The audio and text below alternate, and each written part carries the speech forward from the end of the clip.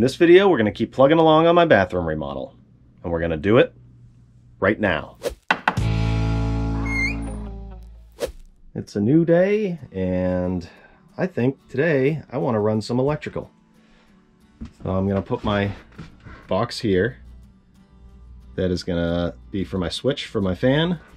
And then I'm gonna do the box for the outlet and the switch here above the vanity. And then the light box right here. And then I'll run my wire for the fan and just leave it there for now. I don't wanna take that out just yet. But I wanna run that stuff and uh, that'll make me feel like I'm getting somewhere. so let's do it. Now I do want to say this before I start that I'm not a licensed electrician and I'm not going to go into a ton of detail about the electrical uh, because I think it's really something you should be careful with and I don't want to be the the spokesperson for do-it-yourself electrical. Um, so just be careful if you're doing it and it's always a good idea to have a licensed electrician. But with that being said, let's get it going. Let's start with the switch. Uh, I'm going to use nail-on boxes quick little tip is these tabs right here are supposed to be your guide. They're really about 3 eighths of an inch. Um, so I hold them a little past on the stud, but that's a guide for, you know, your sheetrock's gonna come up here and that'll be your finished edge. A good uh, rule of thumb is to measure other switches in your house to see where they are from the floor. So I measured my other ones. They were about 44 inches to the bottom. Really simple, you just hold your box here on that line, use those tabs as a guide, and nail it on.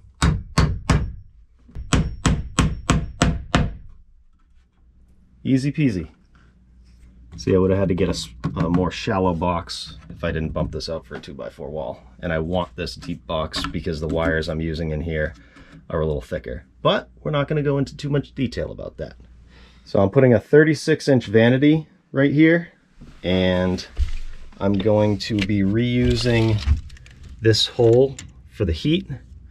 So I'm going to measure about an inch off of that heat and go this way 36 inches and that's going to tell me where my vanity is going to be and then I can measure off so I can put my box here and my box here for the light. Right here. Right about there.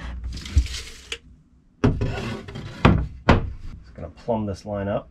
By the way if it's horizontal you're leveling something if it's vertical like this you're plumbing something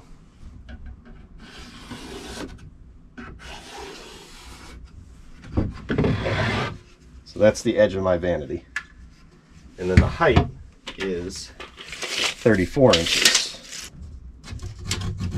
Just so I know.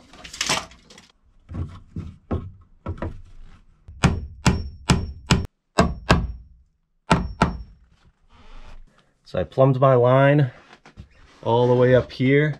So I know that this is the edge of my vanity and now since a, a 36 inch vanity, I can measure off of here 18 inches and that will be the center of my vanity. So when I put my light there, it'll shine dead center down on the sink. So measuring off of that line, I know that 18 inches is dead center of this bay. So I'm not gonna have an issue when it comes to um, putting this box in afterwards. So I'm basically gonna run the wire from this box and drill over here and curl it up right here and sheetrock right over it. And then afterwards, once the vanity's set, I can get my exact center, measure up here, cut the, the hole for the box, and I use an old work box. The difference is this is a new work box because it has nails. So you nail it to a stud. And the old work boxes are the ones that you put in and you screw these little ears that flap out and they sandwich themselves against the drywall. So that's what I'm going to use here. And that way it'll be dead center. But I know I have no studs in the way. It's not going to cause me an issue when I go to do that. Got my boxes on, and it's time to run wires.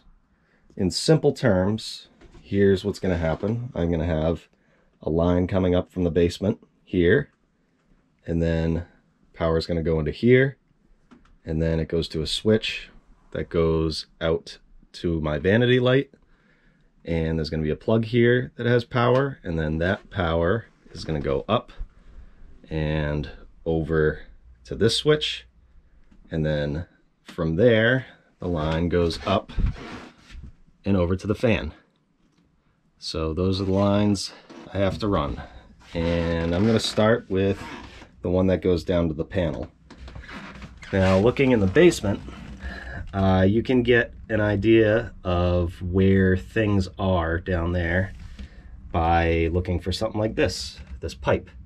And when I went in the basement, I could see that there's no chance that if I drilled in here that I could get the wire through because there's framing down there stopping me. But I think I can go this way and drill down here and um, run the wire that way. So that's what I'm gonna do. I'm gonna use a brand new half inch paddle bit. These things are awesome. Right about here.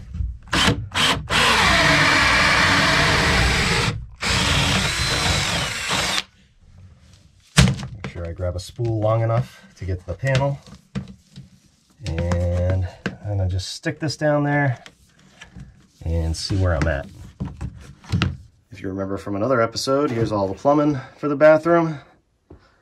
And if you go up here, there's my wire. That worked out perfect. And that's the pipe. And you can see the framing there that would not allow me to run that wire. So, just gonna grab the wire and I'm gonna, ooh, hot. Those are heat pipes.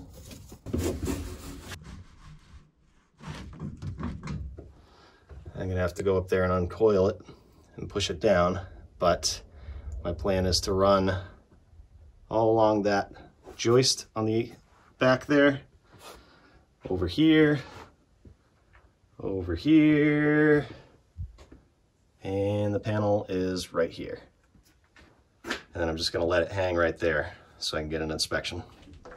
What do you guys think of this? Pretty nice, huh? the old toilet was right here and they hacked it right out and then they left the old stack. So probably to be revisiting that in a future episode. But for right now, I'm running electrical.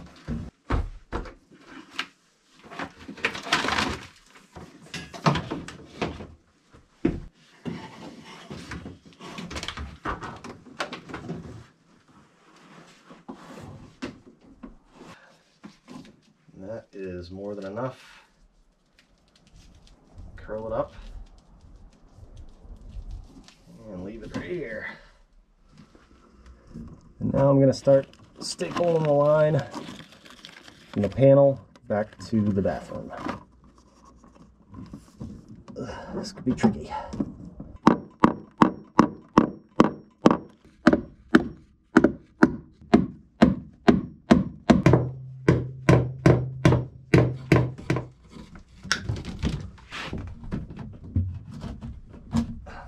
Can use these existing holes.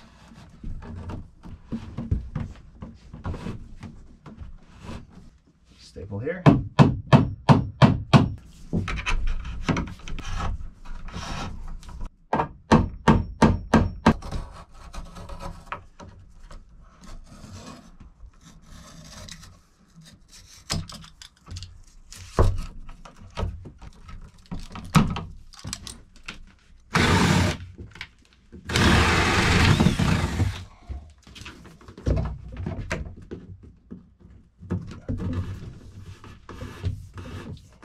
I'm just gonna loop this, loop up like this. And I'm gonna put a staple in very loosely so I can pull it out when I open this up afterwards. But this is just to keep it away from the, when I hang the drywall. I'm not gonna staple this one just yet. Um, but for this next one, typically what I would do is go up and then over this way down to the switch. But there's that beam right here that's holding up the ceiling. And I really don't want to drill through that. Uh, I probably could, but you know what? I'm just gonna not mess with it. So I'm gonna end up going this way and then down and not going into the ceiling yet. So that's my plan. But drilling through this is gonna be tricky. Let's see. I'm gonna try and go even. Make all the holes even. Uh, let's see what we can do here.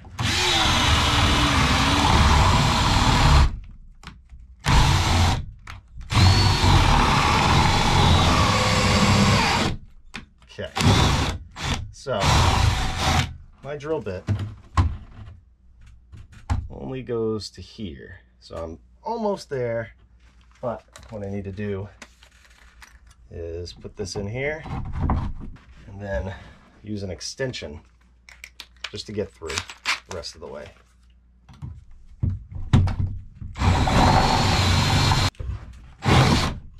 There we go. Pretty cool, huh?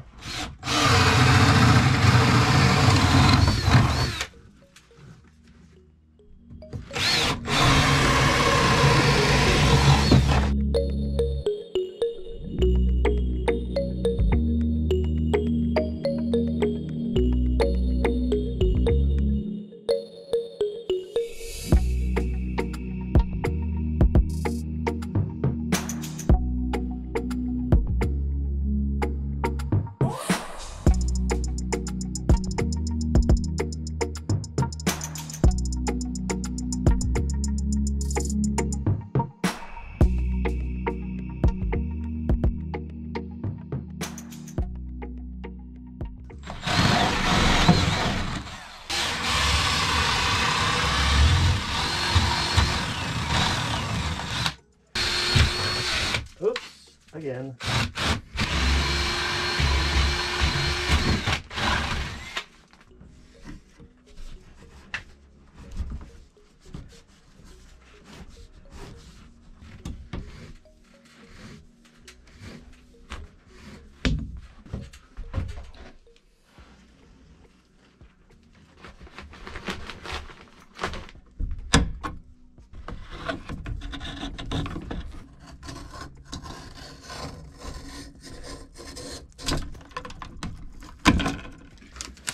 And I always label my wires so I don't forget where they go.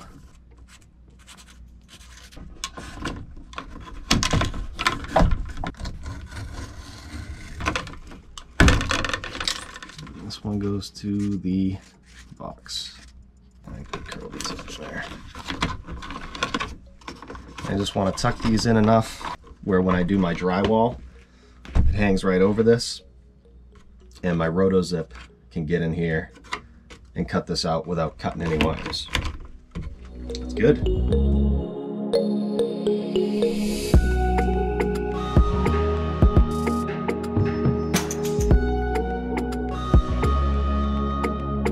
All right, so I got my main line coming up. Goes into here. Wires are all tucked in. Got a line going out to the vanity light. Then we got wire coming down here to the switch. Then the power goes back up here, again in uh, simple terms. And then comes back over here and we'll go to the fan. Like I said, not gonna hook that fan up just yet, but at least the wire's there and we're ready to roll. So that's where we're gonna wrap up this episode. If you wanna see more on this bathroom remodel, you can click hereish and hereish and check those videos out. And if this is your first time and you like this content, definitely consider hitting that button down there and subscribing. Make sure you uh, hit the bell so you get a notification every time I drop an episode. So that's it. We'll see you next time. I'll see you over there or there.